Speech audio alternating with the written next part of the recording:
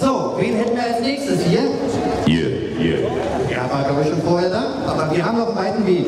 Noch genug Zeit, dass alle drankommen. Du bist? Ich bin Patrick Gosse und ich bin vom Berliner Bündnis Montagsdemo und ich bin auch Leiharbeiter und das heißt, ich kriege eigentlich zu wenig Geld und muss dann noch zum Arbeitsamt betteln gehen und dann werde ich schikaniert vom Arbeitsamt, muss äh, alle sechs Monate dahin und mit meinem Fallmanager reden und der sagt, ich soll mir von der ich leben kann und äh, deswegen bin ich auch für das äh, bedingungslose Grundeinkommen, weil erstmal lebe ich menschenunwürdig, weil ich ja jeden Euro umdrehen muss, denke ich mal. Und vor allem werde ich noch schikaniert, obwohl ich arbeite. Und wenn ich nicht mehr arbeite, dann werde ich richtig schikaniert.